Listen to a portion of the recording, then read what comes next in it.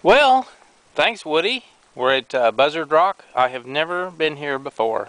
And my gosh, how did I miss this? It's really incredible. Probably the most exposed place that I know of in this whole area. I don't know how I've missed this all these years. Anyway, have a look.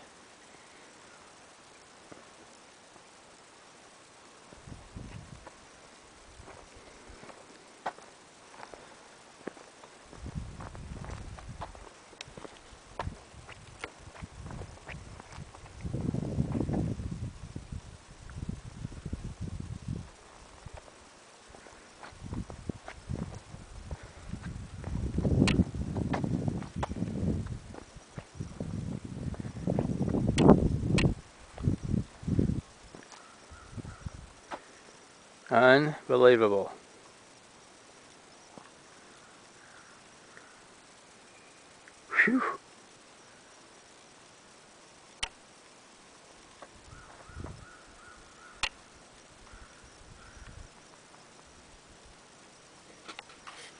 Thanks, Woody.